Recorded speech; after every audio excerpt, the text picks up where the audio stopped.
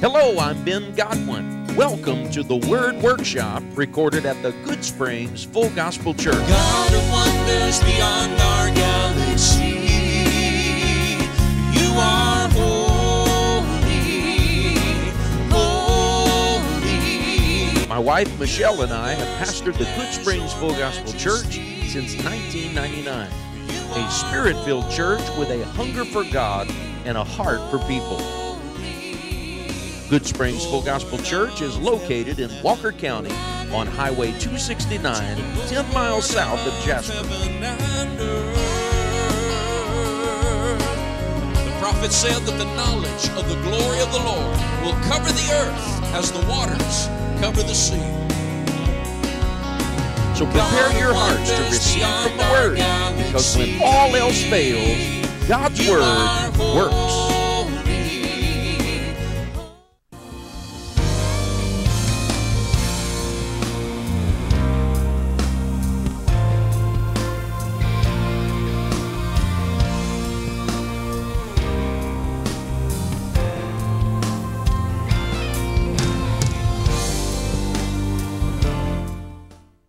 Bibles, if you will, please, to the book of Deuteronomy.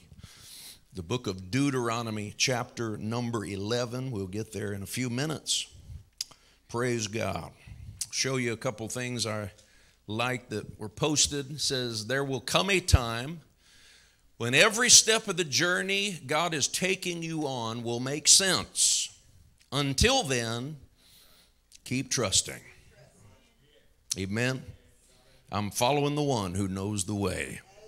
Bible says, now we know in part, but then shall we know even as also we are known. We don't have the whole picture. One day we will. Amen. I like this. It's a little bit fuzzy, but it says two signs, same message. You got a one way sign, and look at the shadow.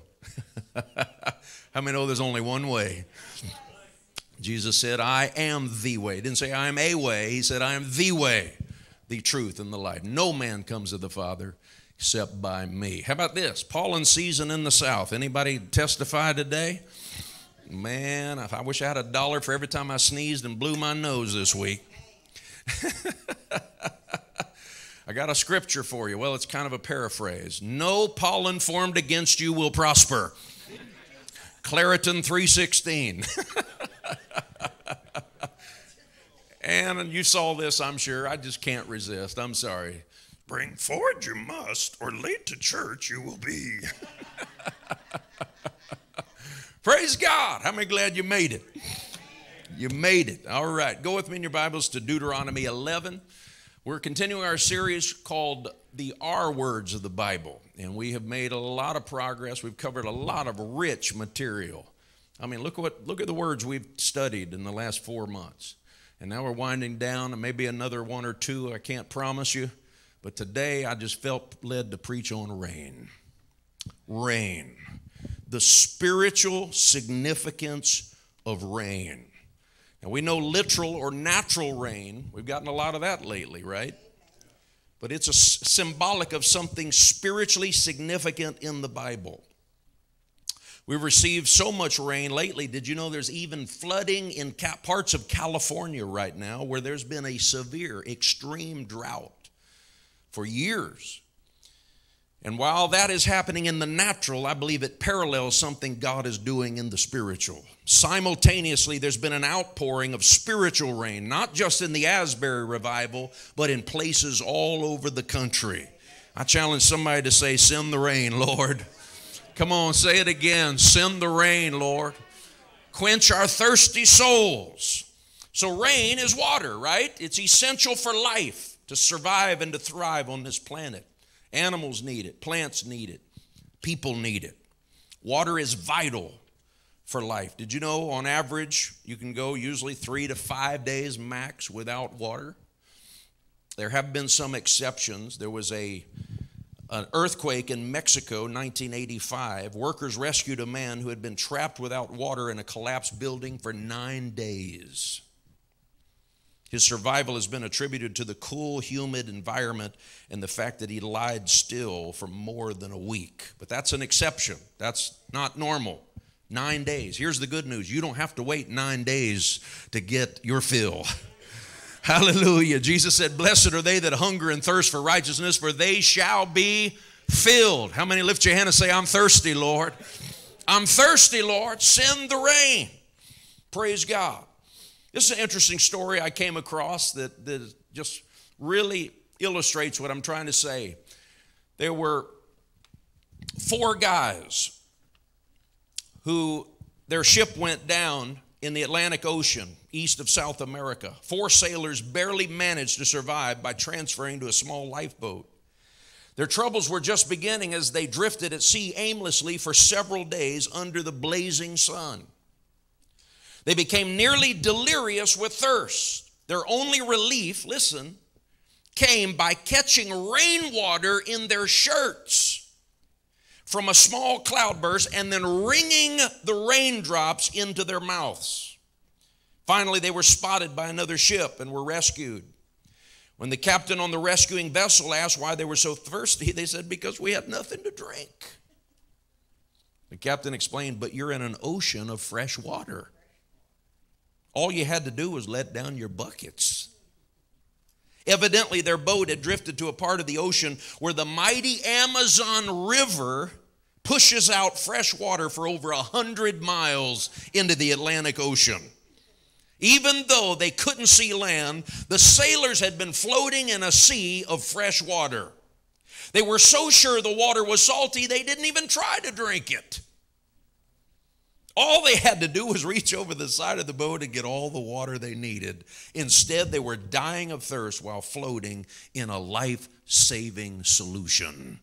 Doesn't that describe a lot of people? Jesus said, Whosoever will, let him take of the water of life freely. Yet this world is dying from spiritual thirst, all the while floating in a sea of fresh water. Whew, hallelujah. How many know we have access to that living water today? Just reach out, take it. Praise God. Did you know this? Before we get to Deuteronomy, did you know this? In Scripture, water is symbolic or symbolized by water. The word is symbolized by water. Ephesians 5:23, so that he might sanctify her, meaning the church, having cleansed her by the washing of the water by the word. So the word of God is symbolized by water. But did you know this? The Holy Spirit is also symbolized by water.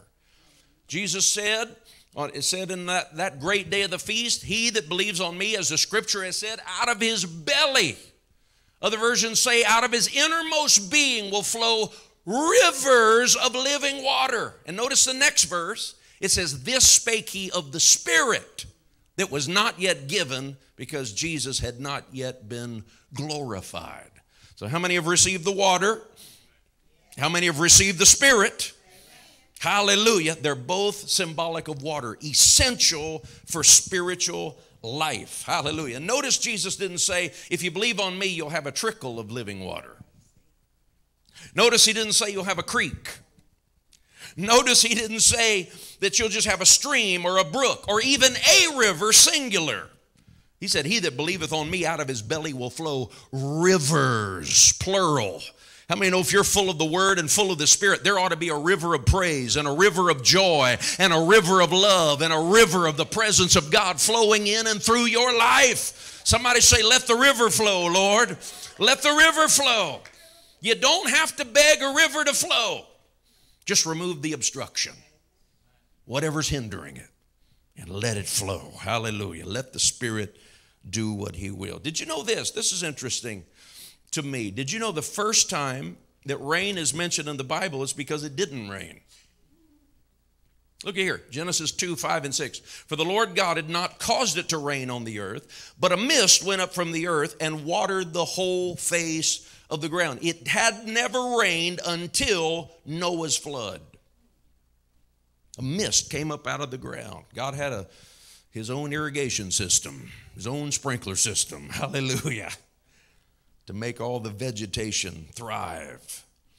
In fact, the first time it rained again was in Noah's time. Genesis 7 4. I will cause it to rain upon the earth 40 days and 40 nights. Remarkably, Noah had faith and believed God in something that had never been seen before. Here's the scripture Hebrews 11 7. By faith, Noah, being warned of things not seen as yet, or not yet seen, moved with godly fear, prepared an ark for the saving of his house. It had never rained before. And here Noah is saying, You better get ready. A flood is coming. And people are looking around like, What are you talking about, dude? You've lost your marbles. It had never rained. But he believed in something he had never seen. Hallelujah. How many, how many have faith for something you've never seen before? I've never seen Jesus face to face, but I believe in him. I've never seen the nail prints in his hands by my own eyes. Hallelujah. But one day I will. I believe in something I've never seen. Hallelujah. And when God sent the rain, the deluge came. Did you know this? Interestingly, the first three times the Bible mentions rain, it was in judgment. Number one, in Noah's flood, it rained for 40 days, 40 nights, Genesis 7 12. The second time the Bible talks about something being rained down is in Sodom and Gomorrah. It rained fire and brimstone. Then the third time was plague number seven out of 10 on the land of Egypt, where God rained hail. Exodus 9, 18, and 23. So the word rain is in the Bible 102 times. Rain past tense, another nine, so 111 times total. And here's the thing I want you to see in Old Testament times, rain indicated God's favor while drought indicated God's displeasure. And that's why I had you go to Deuteronomy. Are you there? Let's read a few verses. Look at verse 10. For the land whither thou goest in to possess it, it is not as the land of Egypt from whence you came out, where thou sowest thy seed and waterest it with thy foot as a garden of herbs. But the land whither you go to possess it is a land of hills and valleys. And listen to this phrase and drinketh water of the rain of heaven. Boy, I like that phrase. A land which the Lord thy God careth for. The eyes of the Lord thy God are always upon it, from the beginning of the year even unto the end of the year. Verse 13, and it shall come to pass if, everybody say if. That means it's conditional. If he says, If you shall hearken diligently unto the commandments which I command you this day, to love the Lord your God and to serve him with all your heart and with all your soul, here's the promise that I will give you the rain. Everybody say, rain of your land in its due season, the first rain and the latter rain, that thou mayest gather in thy corn and thy wine and thine oil. And I will send grass in thy fields for thy cattle, that thou mayest eat and be full. Take heed to yourselves that your heart be not deceived, and you turn aside and serve other gods and worship them, and then the Lord's wrath be kindled upon you against you, and he shall listen to this phrase, shut up the heavens. Man, we don't want the heavens shut up. We want the heavens opened up. That there be no rain. Everybody say no rain and that the land yield not her fruit, lest ye perish quickly from off of the good land which the Lord giveth you. All right, God promised to send the rain if they were obedient. He promised to withhold the rain if they were disobedient. God controls the weather. Listen, man doesn't control the weather. Hallelujah. It's a good thing. He messes everything else up. Hallelujah. God can turn the faucet on or he can turn the faucet off as he wills. Send the rain, Lord. Somebody say, Send the rain, Lord. Praise God. You remember the days of Elijah. You remember what Elijah said to wicked King Ahab and his wife Jezebel? Elijah the Tishbite said, Ahab, as the Lord God of Israel lives, there shall not be dew nor rain these years except at my word. What happened? God turned the faucet off. For three and a half years. Can you imagine not a drop of rain for three and a half years? Every, all the vegetation's dying, cattle dying, people rationing their water, being very conservative because they know it could run out any day. According to legend, Jezebel used water, some vessel with water, and doused out the flame that was on the altar in the temple. She extinguished God's flame with water. And it's as if God says, okay, you turn to your idols, here's what's going to happen. If you want my fire back, it's going to take the last bit of your water. What happened on the showdown at Mount Carmel? You remember all the false prophets of Baal out there dancing in a frenzy, cutting themselves, hollering, screaming, prancing around. no rain. And here's the thing Baal was supposed to be the weather god. Baal was supposed to be the God of thunder and the God of lightning and the God of rain, but he was powerless to send anything, any response at all. Hallelujah. And, and Elijah starts mocking him. Says, maybe you need to yell louder. Maybe he's asleep or he's gone out on a trip or you're not going to like this, but it's in some versions. It says he's, he may be sitting on the potty. I can prove it to you biblically. And boy, he taunted them and he kind of, you know, mocked them. And finally he said, Lord, he rebuilt the altar that was broken down. And he said, The God that answers by fire, him shall we serve. And what did they do? They took 12 barrels of water, not little bottles of water, 12 barrels of water, and they doused the bull that had been cut up and laid on the altar. Why? It, it, it poured down and, and went into the trench around. Why? Because water was the most valuable commodity of that time. It hadn't rained for three and a half years. People would rather have water than gold. And what did he do? He poured the most precious thing on the altar and God honored it. Hallelujah. And God responded to his simple prayer and sent fire insomuch that it licked the water out of the trench that was around because he rebuilt the broken altar. How many believe if we turn from our idols and we rebuild the altar, hallelujah, God will restore the rain. Hallelujah. Come on, somebody help me preach this morning. Send the rain, Lord send the rain. And you know the story. There he is with his, his servant after they kill the false prophets. Elijah is with his servants. He prays seven times. And he says to Elijah, or says to Ahab, Elijah said to Ahab, There is a sound of an abundance of rain. I hope that's prophetic today of what God is about to do, not only regionally and nationally, but internationally and globally. Somebody say, There's a sound of an abundance of rain. Hallelujah. We need the rain of revival. We need the rain of refreshing from God's presence. Hallelujah. And there he was. he prays and he sends a servant. Go look. You see anything?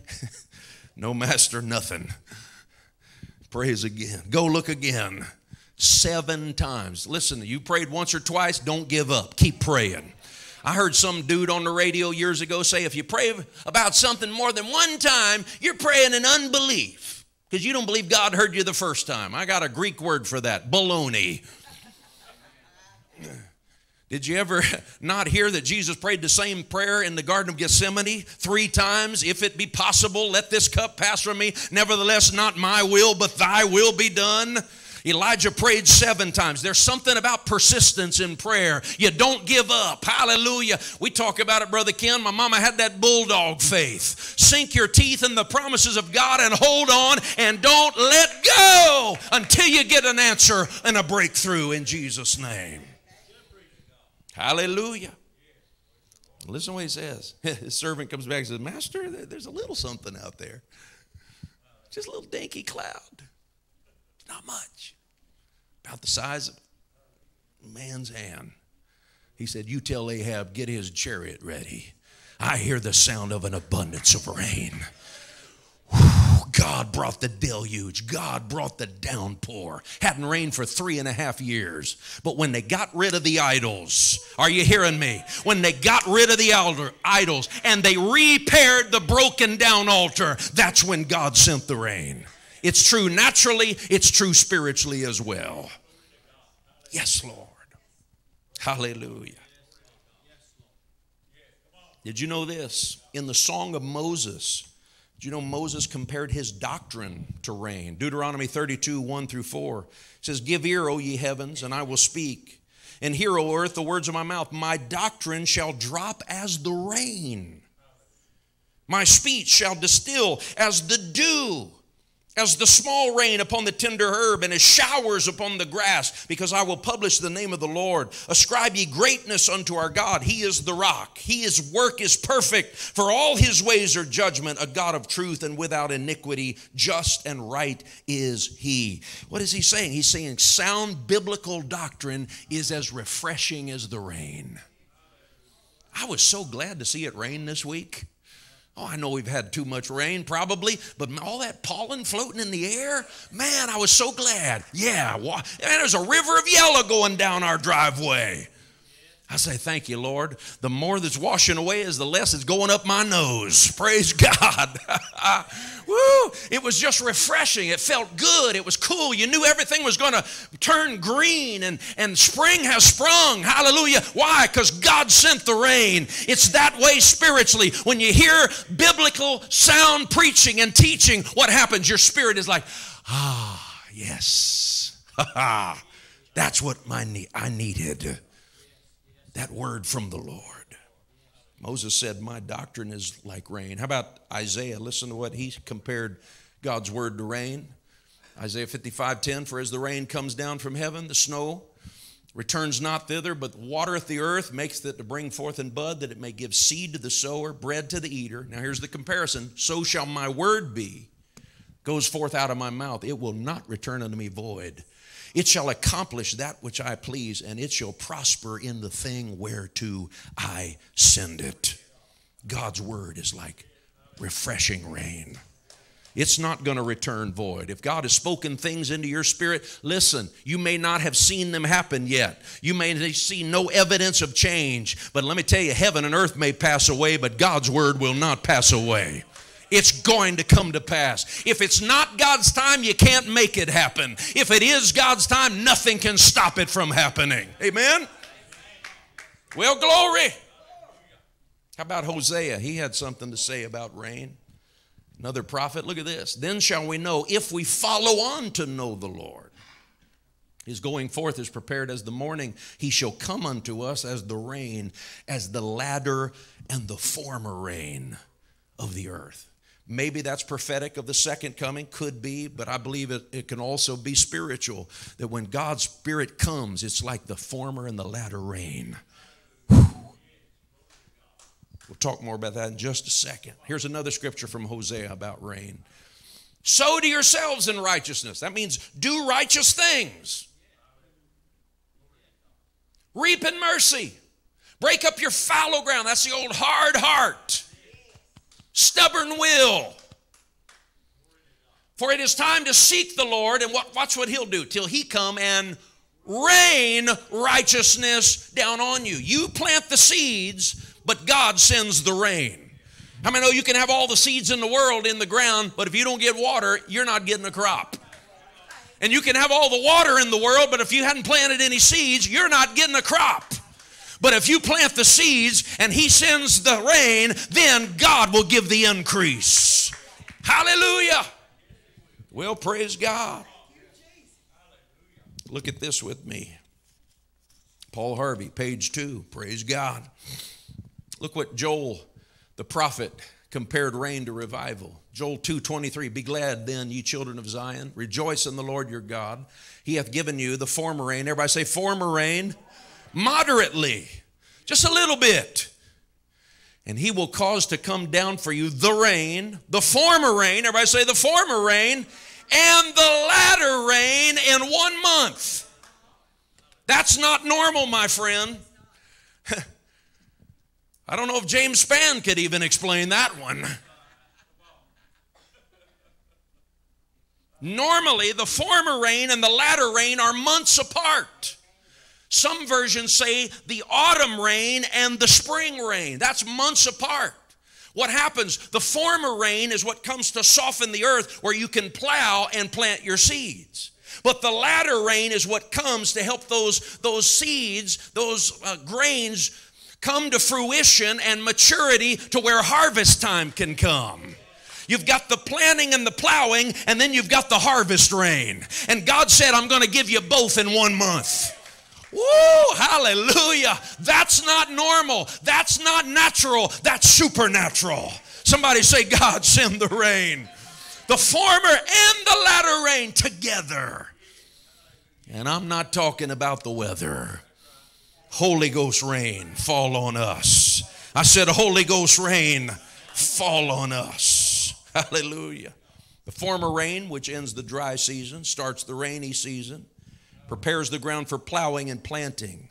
The latter rain provides the moisture that matures the grains, prepares them for harvest. So the former rain is associated with preparation, the latter rain is associated with harvest. And God said, I'll give you both in one month. Probably he was prophesying of something naturally, a bumper crop, a surplus. But how many know God speaks on parallel levels? Not only speaking about natural things, he's speaking about spiritual things in the last days. You get it? Hallelujah. All right, let's wrap this thing up, put a bow on it. Hallelujah. How about James 5, 7, and 8? Therefore, be patient, brethren, till the coming of the Lord. You see how the farmer waits for the precious fruit of the earth, waiting patiently for it till he receives, here it is again, the early and the latter rain. You also be patient, establish your hearts, for the coming of the Lord is drawing nigh. Think about this. Does a farmer go out, plow up his field, plant his seeds, come back out the next day and not see anything and kick the dirt and say, I quit? He wouldn't be a good farmer, would he? He knows there's a long time from the plowing and the planting until he's got a harvest, a crop. There's months in between. A lot of times we plant our seeds, we plow up the ground, we pray about something, and then when it doesn't happen within three or four days, we're like, well, God didn't, didn't hear me. God don't care. Come on, friends, you got to look ahead. I said, You've got to look ahead. He's the Lord of the harvest. I said, He's the Lord of the harvest. Even Paul said that in, to the Corinthian church. He said, I, I planted, and Apollos, another preacher, he came by and he watered, but let me tell you something God brought the increase. He said, Neither is he that plants anything, neither is he that waters anything, but the one who brings the increase is everything. Hallelujah! Send it, Lord. Send it, Lord. Praise God. All right, I'm trying to wrap this up. We're trying to land this plane, folks. Are you with me? All right, buckle those seatbelts. Here it is James 5 16 and 18. The effective, fervent prayer of a righteous man avails what? Your praying is important. Your praying matters. Keep praying. Look at this Elijah, spelled Elias in the New Testament, Greek rendering. Elias prayed earnestly that it might not rain, and it rained not on the earth by a space of three and a half years. I like the next phrase. And he prayed again. You may have prayed, but let me ask you a question. Have you prayed again? Woo, you may have prayed, but somebody say, I'm going to pray again. I'm going to pray again. And what happened? And the heaven gave rain, and the earth brought forth her fruits. Why? Because he kept on praying. By the way, notice this. Apparently, he only prayed one time for God to turn the faucet off. He had to pray seven times for God to turn the faucet on. Don't ask me why. I don't that's one of those mysteries of the scripture I don't understand, but it tells me to keep praying. Don't give up. Keep believing God's going to send the rain. Hallelujah. Yes, Lord. All right, I'm done, folks. I'm done. Here's what I say let it rain. Open the floodgates of heaven and let it rain. Pray until you're, uh, you're soaked. Pray until you're saturated with the presence and glory of God. Let it rain until it becomes a river. Let it rain until it becomes a flood. Hallelujah. Flood us with your glory. Saturate us with your presence, your peace, and your power. Listen, no amount of entertainment is going to satisfy your soul. No amount of earthly pleasure and recreation is going to satisfy your soul. No amount of money in your bank accounts will ever satisfy your soul. But if you can get in the presence of God and you can sense that spiritual rain of the Word of God and the Spirit of God, it will flood your, your thirsty soul and satisfy you like nothing else. And once you've had a taste of it, nothing else will satisfy. Taste and see that the Lord is good. I say, let it rain. I said, let it rain. Brother Ben, it's rained three or four days. Yeah, let it rain. Hallelujah. Oh, hallelujah. Let it rain. Open the floodgates. Let it rain. Will you stand with me and lift your hand and say, Lord, let it rain in my life. Let it rain in my family. Let it rain in my children. Let it rain, oh God, in my relationships. Let it rain at my job site. Let it rain in my business, in my work. Let it rain in my body. I need healing today. Let it rain, oh God. Send it down like rain.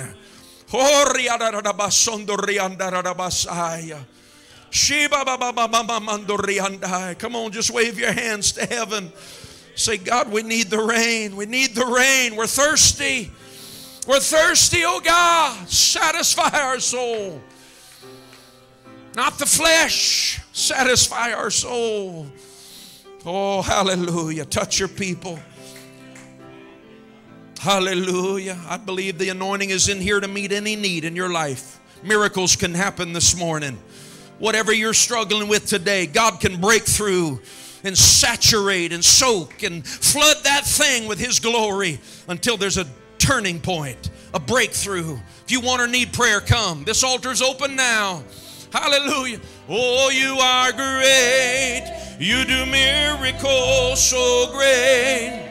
There's no one else like you. Oh, there is no one else like you. You are great. You do miracles so great. There is no one else like